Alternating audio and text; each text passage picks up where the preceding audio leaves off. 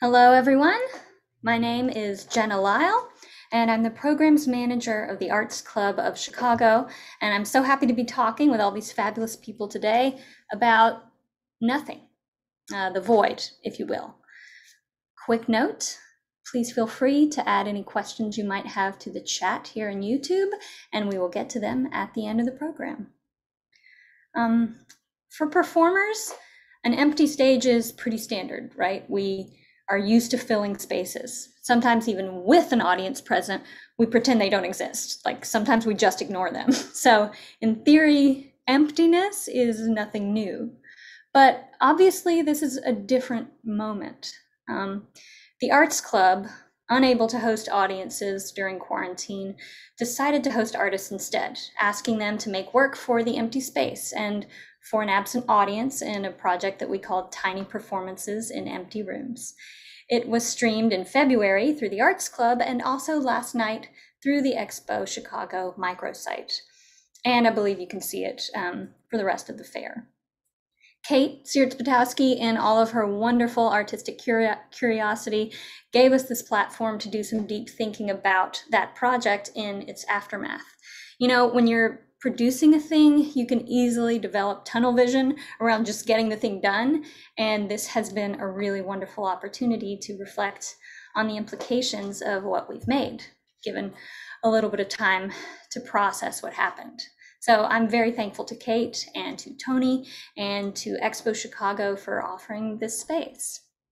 Now, for the Tiny Performances project, I invited artists who I knew to be abstract thinkers and improvisers who might be excited to think about this incredibly strange, possibly, hopefully, never to be experienced again nature of this very specific situation and to maybe help me think about how emptiness in this situation is different from others. And what they each chose to engage with, as you likely saw in the video streamed earlier, varied quite widely from person to person. So I will introduce those people right now. Angel Bat Dawid is a Black American composer, improviser, clarinetist, pianist, vocalist, and DJ whose newly composed Sonata for an Empty Room was recorded for tiny performances in empty rooms with fellow multi instrumentalist, composer, performer, improviser, everything person Isaiah Collier. And Jasmine Mendoza is a visual and performance artist who creates and performs multimedia performance incorporating improvisation, sound, film, objects, and theatrical play. And for Tiny Performances, Jasmine collaborated on a piece titled Whir, W H I R, with filmmaker Keaton Fox, who seems to be similarly inclined toward play and perceptual inquiry. Kurt Chiang is a theater artist, writer, and performer. He is artistic director emeritus and ensemble of the Neo Futurist Theater, where over the course of a decade with the company, he wrote and directed multiple premieres, produced and curated work, and created over 300 two minute plays for the acclaimed, ever evolving show, The, Infin- the Infinite Wrench. Uh, his contribution to Tiny Performances was a film project with performer and ecstatic mover Livia Chesley titled Livia to the Stage, Please, period, Livia to the Stage. And we're going to hear more about all of this. But first, so you can get to know these artists a little bit more deeply, Angel, Kurt, Jasmine, I'd like to ask you each to discuss something you were up to before this project came around, like perhaps also dealing with the situation we found ourselves in for the past year. Uh, Angel, I'm going to start with you. I know you developed a practice during quarantine of producing musical hangs outside, and we got a taste of what that was like at the end of your sonata for an empty room. Um, maybe you could talk a little bit about the Royal sessions. Yeah, so Royal Sessions happened. Um, you know, like first of all, the sonata is a journey. Like um, the reason why I did it with Isaiah Collier was because we were in Mexico right before the quarantine, and like right when we got off the plane, it was quarantine. It was like a whole nother universe, and so uh, the sonata was exploring that. And by the time it was summer, we were like, we have nowhere to really play music because you know it's not safe to have gatherings and so um you know we had done like a protest march um like around 58th and Stony Island. We just took our instruments and we marched from there to the DuSable Museum and we just played like a loud sound because you know, like in the summer it was like really heated. Y'all know everything was going on, George Floyd, all this. It was just like over the top. And so that meeting place where the protest started, there's a beautiful park, a beautiful garden. And um, Isaiah had been going there just to play his horn and practice. And he just started inviting people to come, like, hey, let's just play in the park and people if they want to come and listen they can There was enough room to social distance you know so people would bring their blankets out and it, would just be a beautiful time of us just sharing music um just to play together, but also to share with world. A lot of people were coming up to us like, you guys don't realize we haven't heard any live music in like eight months. Like you guys are the first like live anything we've heard. And so it made, made it really, really special um, during the summer. And it's something that's ongoing. So by the time, you know, I get to my composition, it, it made so much sense that the last movement would be a, roy- a mini royal session, you know, um, in that empty room, in that space, in that building, because that's actually, you know, as horrible and traumatic as everything it is right now in this world that we live in. Um, the fact that something so beautiful um, came out of that, which is one of the great things about us talking about voids and, and, and um, emptiness, because most creation stories, mythologies start with a void with an emptiness and i think like we're we're looking at it we have to look at it in so many different ways like we have to look at it like okay we've this void has happened but void is also the breeding ground for creation and creating something new and different you know so like we're getting off the plane from mexico into void you know but it birthed these royal sessions and it, we have to like think like okay now what are these sessions birthing forth? And that's that's like this continual thing with my work. It's like it has to be like a you know that's how creation works void and then boom baby you know? So.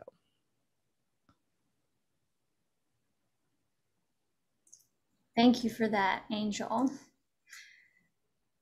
You're welcome. uh, and i i'd like now to hear a little bit from kurt I know the neo-futurists have also been presenting work over the past year, even with the Neo-Futurarium, like so many other venues in a dormant state.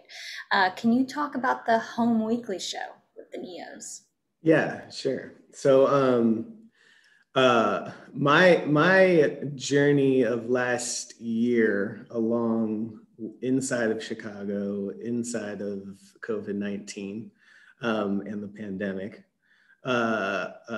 was a a kind of you know angel you're talking about rebirthing or like birthing or coming out of a void or like transitions. Um, i was actually in the mode of transitioning uh, after 12 years of being of having the neo-futurist be my artist my, my sole artistic home. Um, and as as I was transitioning out, the pandemic was happening at the same time and completely reinventing the way that the show had to the way that we do our work. Um, for those of anyone who doesn't know, the Neo Futurists are a group of experimental theater practitioners. We do a weekly show called The Infinite Wrench, and that is indeed weekly, Friday, Saturdays, and Sundays, late at night, every single weekend since 1988 uh, when it was called Too Much Light Makes the Baby Go Blind. Um, it is a regular ongoing practice to create many, many two minute plays, roughly two minute plays, um, uh, week, weekly for a live, uh, rip roaring audience, um, unhinged and uh, uh, uh, from all, all wakes of life, as it were. Um, I, so I, I frame it that way because, you know, for the past 12 years, I've been making, I've been a regular practice of creating work that is experimental, that is completely new, that is from me, uh, that is that is for and and and and and and is in need of an audience in front of me.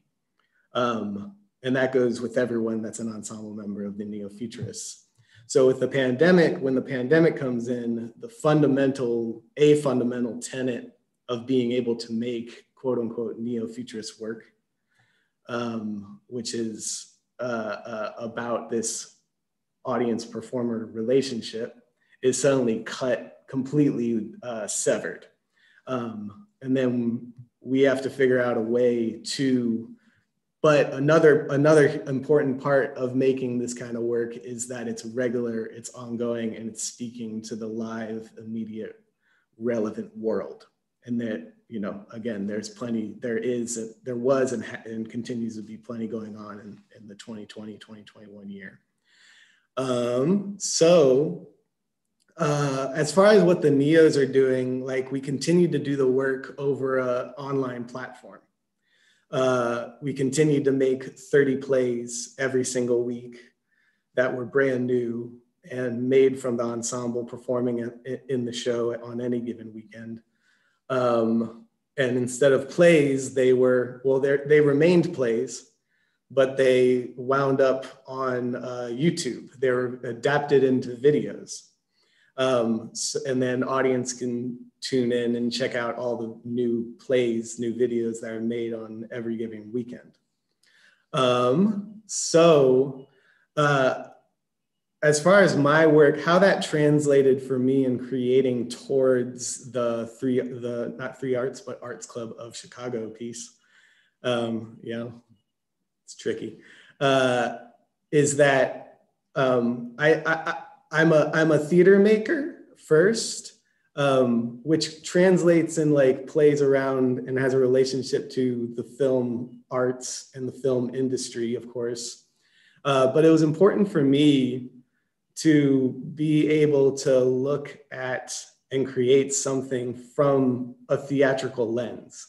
So that, like, so I ask myself, what's the thing that the audience, you know, how am I going to reach the audience in this way that feels dramatic and actionable?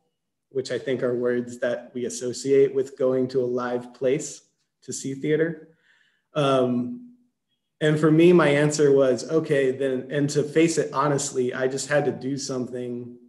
Uh, uh, I had I had to address the room as it was, which is that no audience was there, um, and use everything about no audience being there, the fact that no audience is there, use everything about that to inform exactly what is in the piece. And that had to do with work I was making in the neo-futurists, you know, in the fall. And then I used that like same kind of idea towards making for this.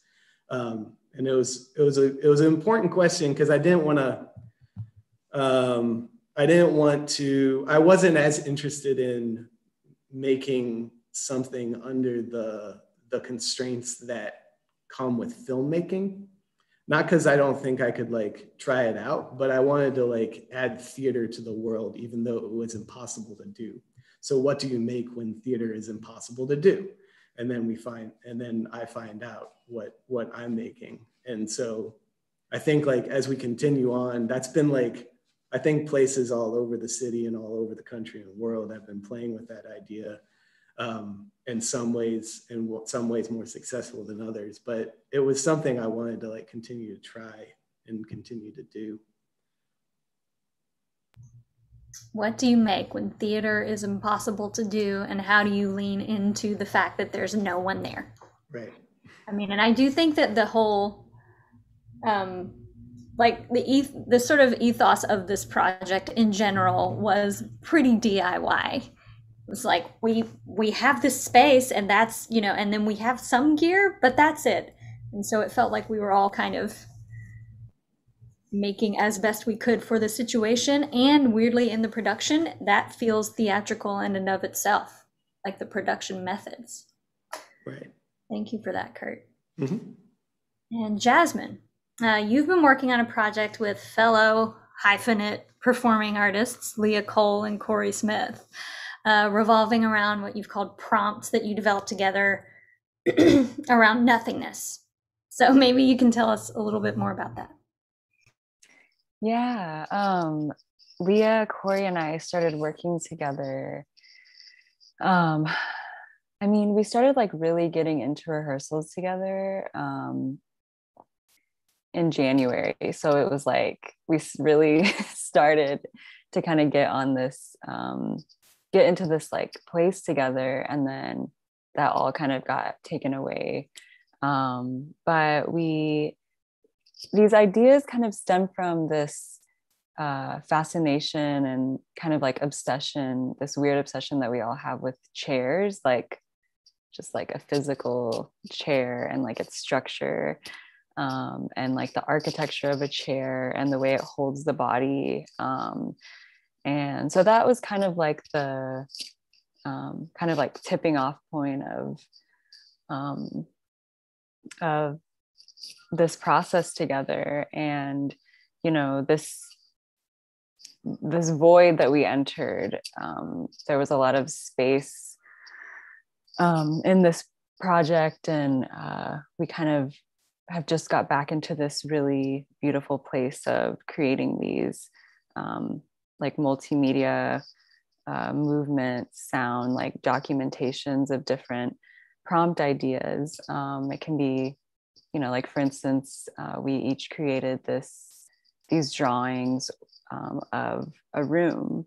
Um, you know we were just like let's let's create a room that we you know want to be inside of. And so that kind of like trickled down into um, let's imagine our bodies in this room is there sound in this room? Like what are we hearing? So like kind of like reigniting and reawakening these possibilities of play that as an improviser um, it's been so uh, be like beyond difficult to reimagining reimagine uh, these areas of possibility and play when things have been so limited and constricted um, and have felt very like unsafe you know like how do you go into play when you're uh, just trying to survive you know? So yeah i mean um, we got into acre so we'll be working at acre next summer um, which is really exciting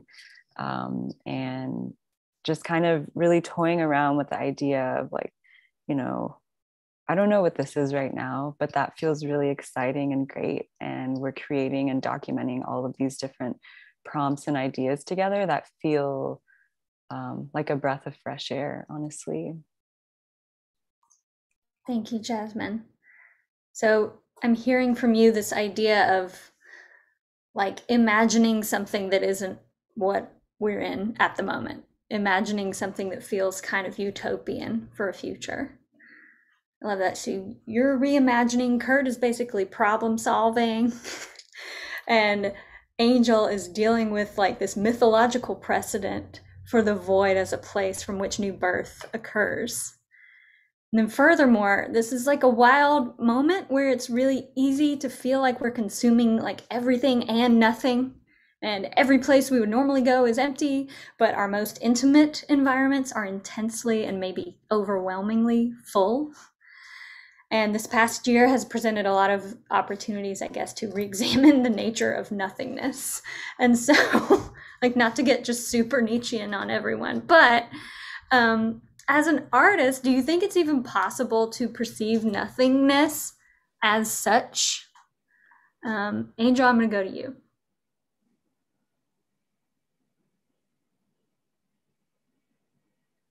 I'll throw that question to you, Angel.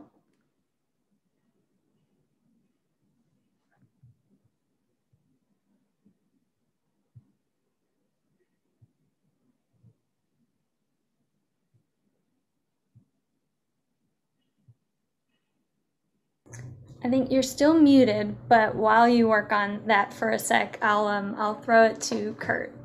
Okay, you gotta repeat the question then.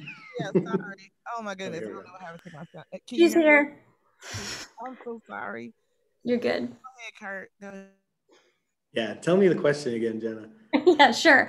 Um, as an artist, do you think it's even possible to like perceive nothingness and emptiness as such? As as su- as as such, as such. Like, is anything that's empty actually totally empty? Oh yeah, I mean totally. I mean we just dem- it was just demonstrated 2 seconds ago when like like emptiness absolutely can exist and like as this was happening this kind of snafu with the with the stuff I was thinking of like a fund a fundamental thing for me about what is created or how to make theater or even live performance um, is uh, is breath.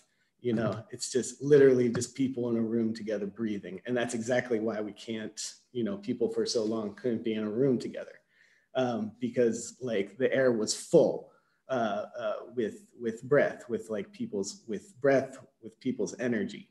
You know, um, and that is like an absolute for me, like a tactile sensation of uh, uh, of creation, of like of of a moment, of like an of an eventful moment, you know.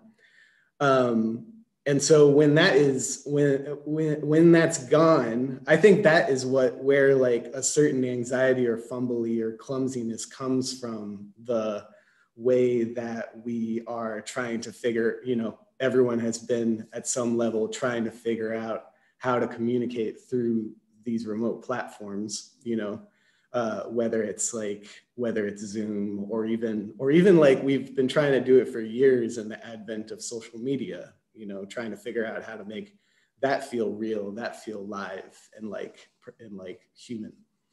Um, so like it's it's and and again part of it is trying to figure out what's the breadth of these platforms you know what's like the event the liveness of these platforms and for many people, including myself, I'm like, I'm, i say to my, my, first instinct is absolutely not. like it doesn't work. it's not going. It's not going to work. So let's just like hunker down until like we're all everything's back to quote unquote normal. Of course, that's not going to happen, and people have like instincts to like connect. So then, what do you what do you do? What do you do from there, and how do you fill that?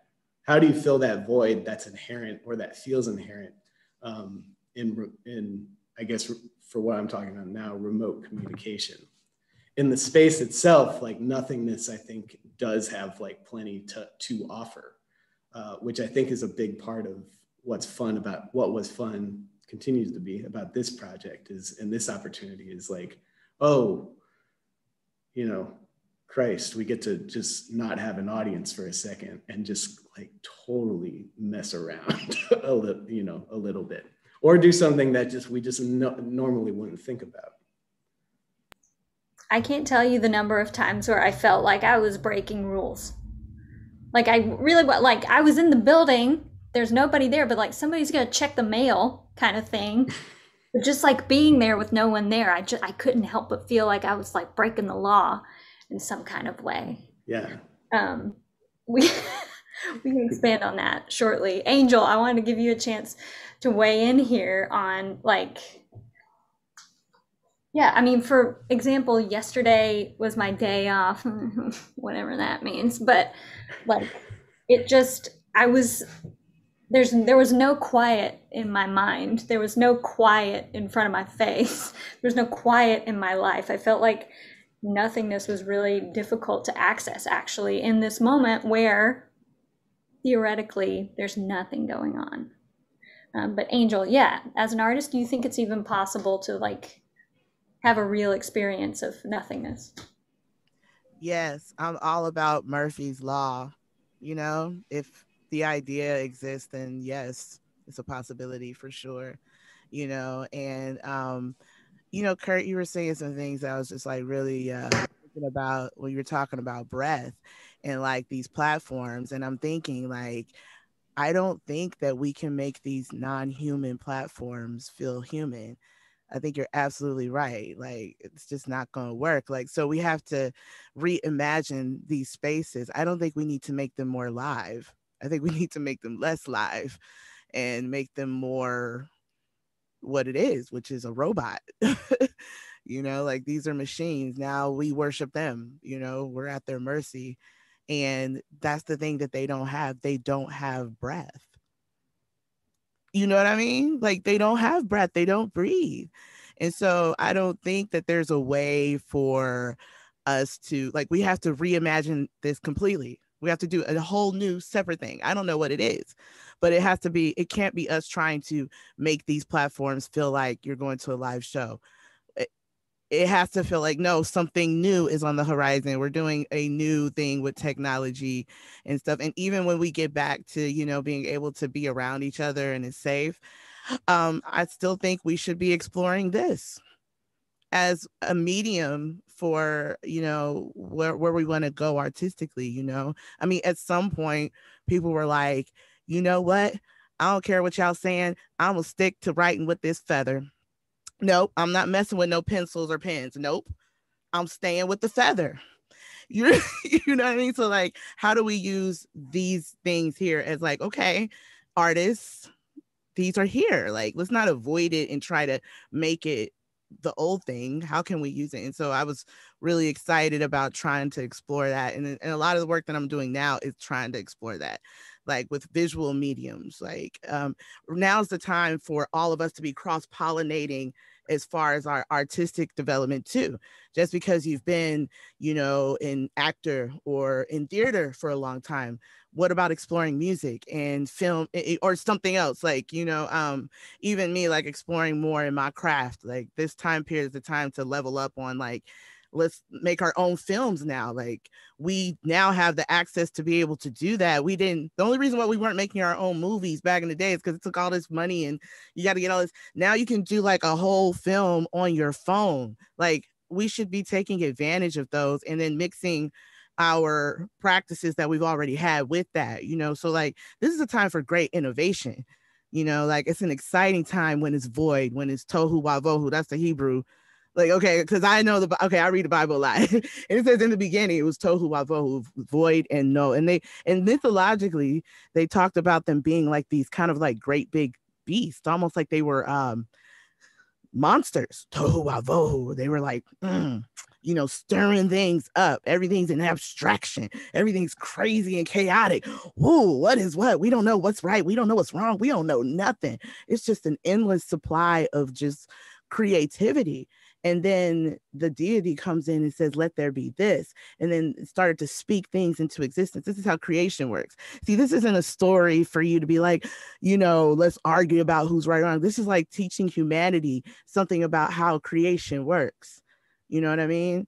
Creation works in that way where it's void and then you have to be specific and then carve out out of it whatever you choose whatever it is you choose you know? And that's how i look at my art. That's how i look at um, me spiritually, mentally, all, all everything that exists that's in my head. If it exists, then I explore it and see what it is. And if you're like that, like you never run out of creative ideas. It's just like everlasting, you know? Absolutely. And I mean, I second your like critique of filmmaking as a medium for a really long time. There's been all this gatekeeping yeah. around actually just the concept like recording anything at all. There's so much gatekeeping around like quality control and production, um, which has like, I think, kept a lot of people from making work that now they're realizing they can absolutely make if they want.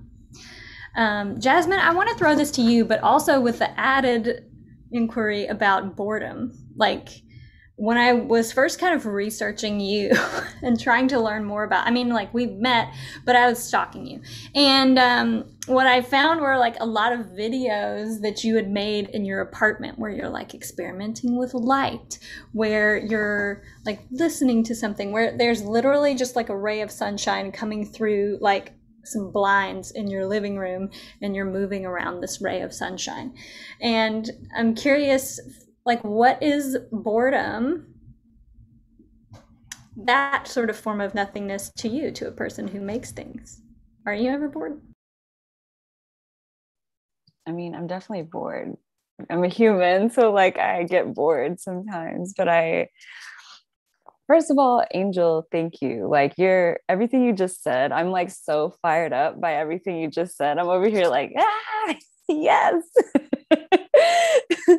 um, and i'm feeling so much of that so i feel like i need i would like to speak to that first um, but i it just reminded me a lot about you know the ways that i've been trying to think of play and possibilities and because this is and we've all been dealing with this so i mean i'm not alone in this but like this shit has been so difficult. Like it has been so painful, so like so painful. And you know, to like reimagine uh these ideas of exploration and play and possibilities and that there are endless possibilities makes me feel so full right now because last month or even when I began when I began my project the arts club I didn't feel that way. I was like what am I what am I doing here? Like what you know? And so yeah I think that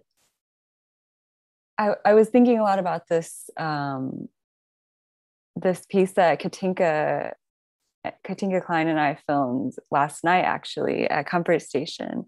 And um, it was a lot about let's just like bring everything together. Let's bring all of these ideas that we have together and let's explore all of them. And it's like our little lab of like research um, and I was like doing all this stuff that I've never done before. And I was like, this feels so good.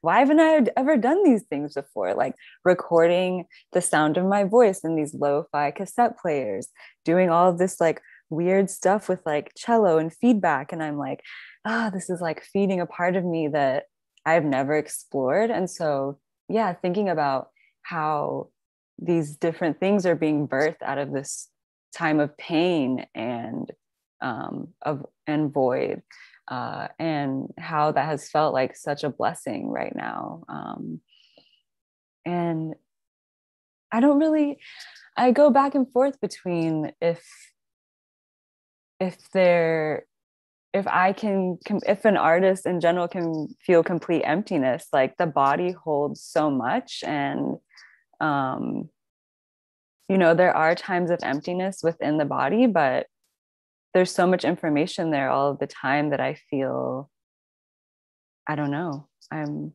I I I don't have an answer for that, but um that's something to explore, you know. Um and I think yeah, I don't the boredom thing. I'm not really sure. I think there are things that I feel bored about within the art world, but that's like a whole different other thing. yes. I kind of wanted to ask that question because I keep hearing this refrain from like people who sort of are outside of the arts saying like, "Well, you're an artist, you make things. You must just like you must just always have ideas." And I think about like the pieces that I've been making at home and what a a very intense like slog it is to just get myself from one room to the next to go roll around under a blanket that I record as a thing, you know? Like it's really hard to be creative sometimes. Um so I'm really thankful to hear all of this from all of you. I want to transition just a little bit to space. Because, like in the performing arts, we think constantly about how we occupy space, right? Kurt was saying you can just occupy space with air, like with people breathing.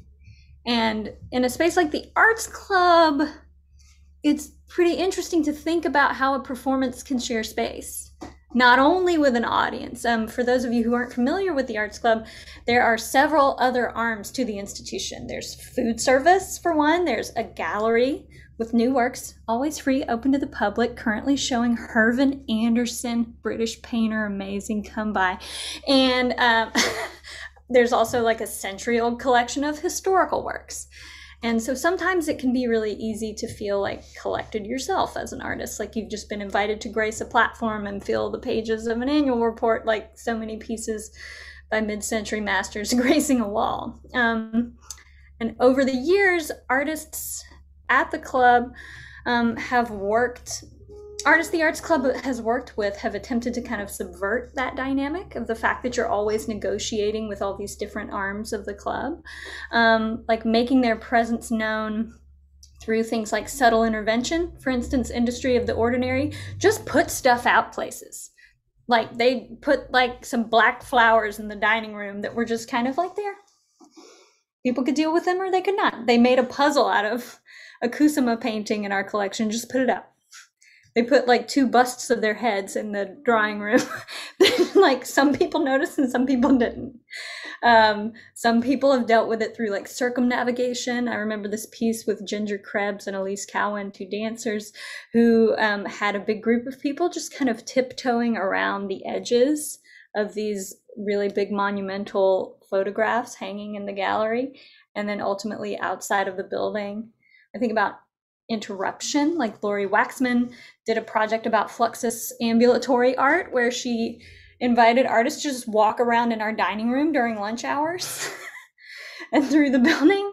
Uh, and then also like the incorporation of dangerous, well, like to an art gallery elements into a performance. Uh, Seth Parker Woods um, sawed into a cello made of ice, and there were actually like projectiles of black ice all over the gallery, and there were like hanging pieces of glass with speakers on them.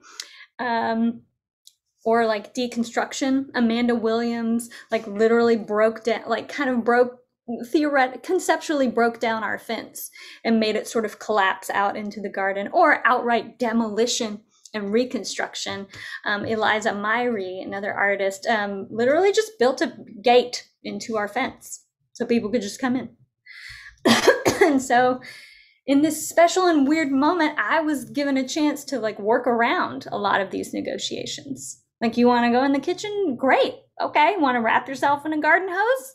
Run around the incredibly cramped backstage area where we store all the chairs? Yeah, sure. There's nobody here. You won't disturb anyone who's like happens to be here for lunch or drinks, but not your performance. The audience isn't in the room, as we've all mentioned, so you won't be able to feel if they're energetically into the performance or not. Strangely, there's kind of no one to please or impress, as you noted, Kurt. Like sometimes it's nice to just not have an audience in the room.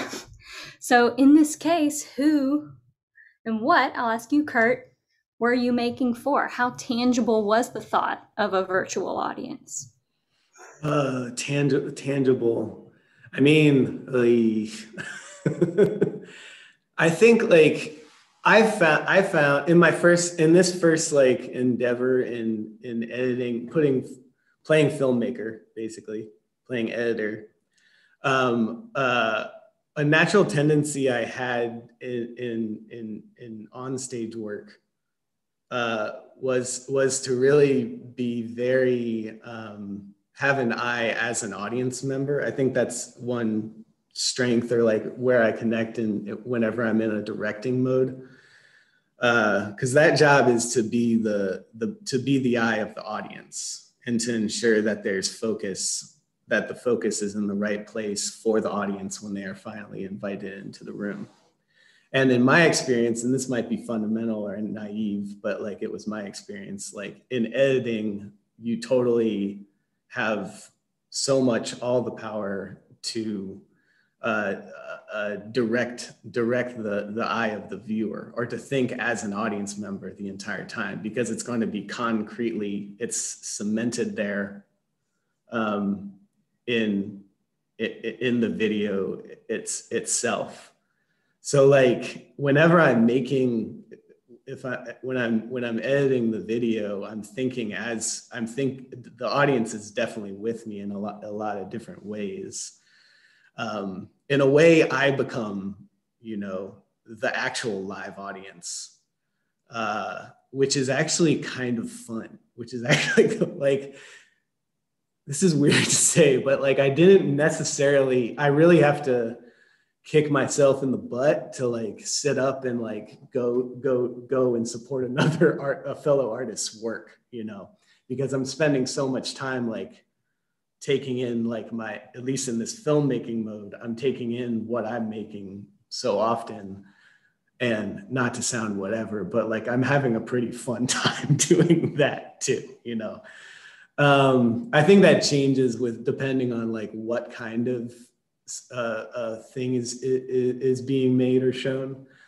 Um, but I, I, I would say like that's it's the, the more I think about what I just said, the more creeped out I am by it. But I think like it's in a way, um, not in a way, I think it's a noble pursuit as an artist to like to find some joy in whatever absurd thing that you're making. And in eh, you know and i think maybe that's like where you can have a lot of fun in like absurdity with abstraction if you're not if you're able to skip the part that is about anxiety around what judgment or, or what judgment might come from like an audience you know the the kind of thing that we're constantly like reflexively blaming our audience. It's a bad habit but like it's it happens all the time. It's like oh they didn't get it. They're not going to get it. You know what i mean?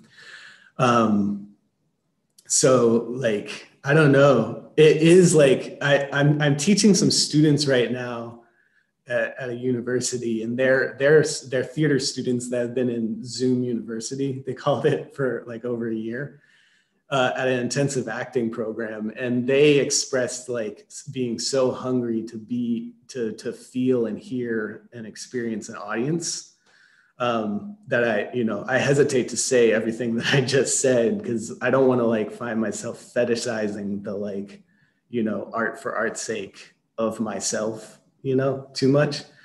Um, there is a there is a part of the audience that's not there is a part that like we absolutely have to get in front of people again, you know, to do a thing that we're steadily forgetting how to do. Thank you. Yeah, and like that I that hadn't occurred to me yet like that as a person who's making video work, you're the audience. Yeah. Like you literally get to be the audience and you never get to do that when you're on a stage. That's really interesting. Um, Angel, I want to throw this to you. You were actually the only person in this project who like addressed an audience. So I want to talk to you a little bit about um, about that and about like why you chose to address the audience and like what the feeling of an audience was for you in this empty room. Oh no, I think sorry, you. Can you hear me now? Sorry. Yep. Um, yeah, I always, uh, no matter what I'm doing, I'm addressing an audience. And um, Arthur, Arthur Jafa, he's like one of my favorite ever cinematographer. He he he talks about how all his work is addressing Black people all the time. And he gives the example of like um, Eric Clapton, like all like I think all his like most of his love songs were directed toward this particular woman now, anybody and everybody can listen to Eric Clapton's music and enjoy it and love it and all that, but he was addressing a particular thing. And all of my work addresses that. it's always addressing the audience of me being a Black artist in a white supremacist world.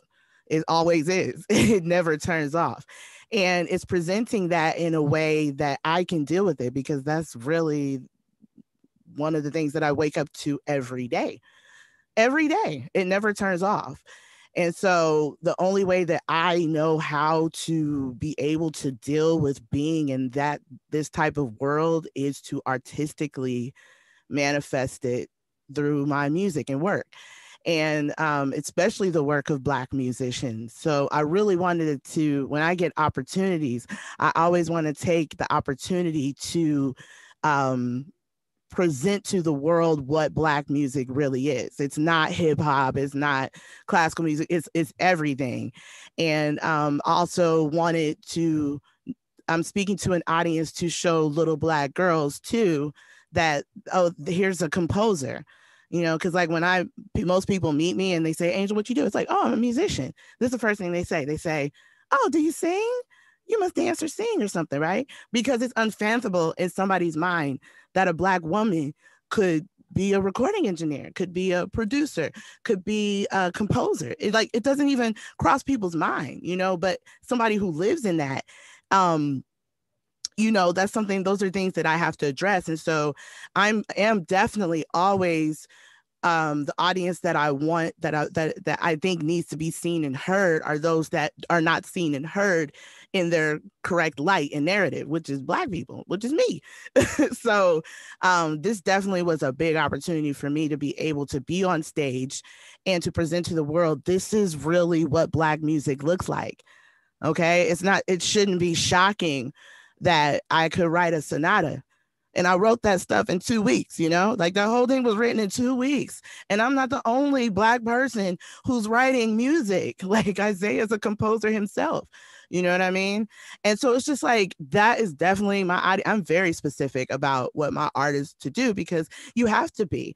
I don't want some ambiguous you know reason for why like entertainment for why I'm an artist. No, I believe art is just as powerful as any political position in the world. And frankly, this position that we're in in this world right now, I don't like it. I hate it. I really hate it. You know what I mean? And it's like, okay, well, I'm not a politician. I'm not in Congress, and I don't even like these governments. I don't like any of them. Like Bob Marley said it, they're all they're all illegal. Every government in the world is illegal. So what am I supposed to do if every government in the world is illegal and they're all not righteous and they ain't trying to do right and they especially ain't trying to do right to black people? But I gotta live in this. I have to be an artist. You know what I mean? Because um, one of my favorite movies, my childhood movies, was Mary Poppins. Y'all remember that scene where it was like he went to the park and then they drew on the sidewalk and then they would jump into and the super trap. They would go into another world. That's what art is do. That's why they attack us and hate us because we're able to open up you to another world. We don't have to have this world, y'all, where racism exists. It doesn't have to be like this you know? And so, like, if I don't be really focused on that, it's still gonna just sit there. It's gonna look like it's all gone away, but it's still there. That's what happened last summer. It wasn't like, oh, things got worse. No, no, no, no. That shit been there. It, it, it, it y'all, just people just weren't thinking. It's always just rumbling underneath, and I can't stand it. So yeah, I'm very specific about my audience all the time. Period. yes. Thank you so much for that, Angel. And I mean, the idea of like speaking to a world that is idealistic, um, that exists outside of the one that we have to exist in. Um, speaking of other worlds, I think I would like, as a last question, just to get even further out than we already have been, um, I'd like to talk a bit about the supernatural, if that's okay. um, Kurt, like Livia can't get to the stage because she's constantly being sucked into portals to other parts of the building. Um, Jasmine, you, as you've described, uh, well, your character who I'm going to ask you about uh, is kind of an alien aquatic creature discovering the world and itself uh, Angel, in your piece, you reference often like the ancient things and ancient hidden things, which is like has been in my head for many, many days, implying for me maybe the presence of ancestral spirits, even in an empty place. And so, even though there weren't actual bodies in the space to be our audiences, for all of you, it did seem like maybe there were let's say entities involved in some form or another um, I want to throw this to Jasmine and ask you to first maybe describe your character. Talk a little bit about that being and why you chose that. Yeah, I mean, mm, I feel like there's so much there for me. Um, the character, I mean, I think it really started to kind of flourish for me when I was thinking about and resonate with a lot of the things that Angel was just talking about as a queer person of color. Um, th- that things are always like rumbling um, underneath the surface, and um, this time of creation, specifically in the arts club, um, have brought up a lot of like the the pain that was already there for me and um and thinking about like the ways I have felt like I've been drowning um, and kind of like drowning in this place of pain um, from like a collective grief place and also like personal um, grief and loss. And so for me, this character was a lot about pleasure and pain and grief and release and ease and joy um, and letting stripping myself of my humanness and embodying this um, this like weird entity that I was like fascinated with becoming. Like I started doing a lot of research about like coral reefs and um, kind of just like these like weird underwater things that were reminding me um, about the ways that like my family has been drowning underneath the surface of all of these um, th- you know things that are happening in this world. Um, and it reminded me a lot about uh, one of my tias and my ancestors who you know swam across the rio grande to reach west texas to uh, reach safety and um, and new possibilities and outcomes for life and existence um, and family. And so yeah i mean this character was so many with so many different things. I it it was scary. It was unknown. It, it's still being explored. Um, there was so much curiosity there was a lot of sadness there for me but um, yeah does that answer your question? I feel like i forgot what i was even saying. That's great. I just wanted to learn a little bit more about the character that you chose. I appreciate that. And i want to also give kurt and well i want to hold what you just said jasmine and thank you for that vulnerability and thank you for sharing that with us like I feel like a lot of us can, in fact, identify with this feeling of drowning this year. And yeah, thank you. And I, yeah, I want to give Kurt and Angel, I'm seeing that we have only a couple minutes left, but I want to give you two the chance to speak to this um, presence of the supernatural in the void that we were Oh. in. There was so much energy up in there because like in that particular room there's a picasso in there there's there's two things there's a picasso but then as you exit there's a um a big s- statue from like the 1600s right from an african village right Uh, it's 1901 uh, Burkina Faso. Yes. Yes. So you have two things. So like if people don't know, like Picasso, a lot of his art he drew from ancient African stuff. And so both of these two of these energies are in that room, you know, they're in there. And I'm just like walking around and it's heavy.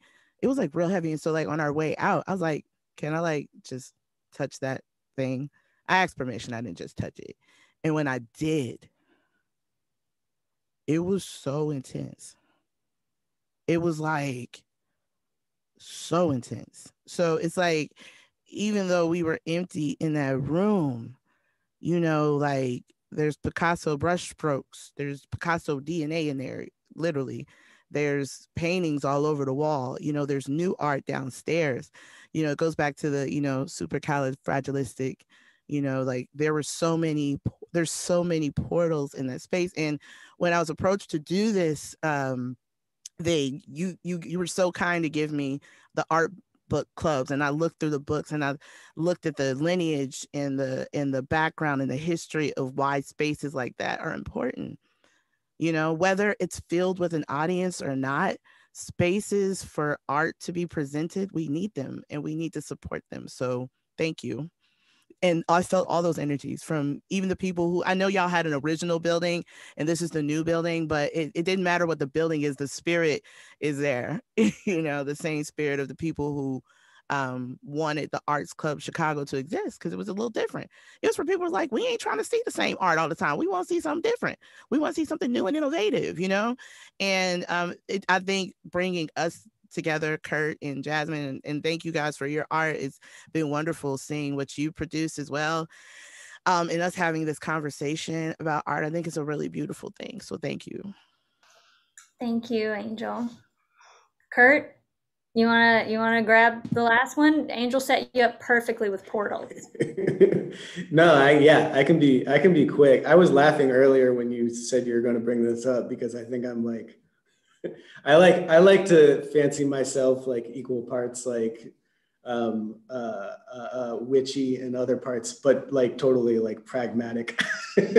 And i think i have like the most like pragmatic piece of, of you know it's basically an open closed door comedy. So when you describe it as like there's entities that are like shooting livia across the thing it's like kind of but it's also supposed to be a big part of it is supposed to be like a film joke you know, kind of like a, a, laughing at the thing itself. Um, but I will say, like, for my piece, like we find it, uh, uh, it goes to this place. It starts that joke starts to kind of crumble, and that was that's definitely part of like the mission of the of the play. Um, and then it's like Livia just like looking at like the empty space um, and and and and relishing in it. Um, and a big part is that what she's doing is she's showing Blake, the camera person behind the camera, her job is to just walk around and show him like check this out. And one of my favorite parts of the play of the play is that she shows blake um, uh, an empty just an empty coat not coat hanger but a picture hanger and says like that's awesome. And then afterwards blake was like i'm sorry i like you know she told me to look up there and then there was nothing there. I'm sorry i did that. I was like no she was showing you like this is awesome. This is like this is a coat hanger or this is a picture hanger with no picture, you know, like trippy, right? That's a thing. Um, so yeah, I know. I think that's like a big part of like making in the emptiness is that you have to like when you're like alone or it's like a void, you're trying to like find that fun and that weird, you know, which is in all the stuff that I think Jasmine and Angel are, are talking about as well. Um, and accessing that and like channeling it as an artist, but also as like a human being. Thank you, Kurt. Mm-hmm. And thank, thank you so much, Jasmine. Thank you, Angel. Thank you, Kate. And thank you, Expo. Um, quartet of practical, witchy people in touch with the entities here. Um, just signing off and thanking you all so much for being with us turn off my camera. Thank you, everyone. Bye. Bye. Bye.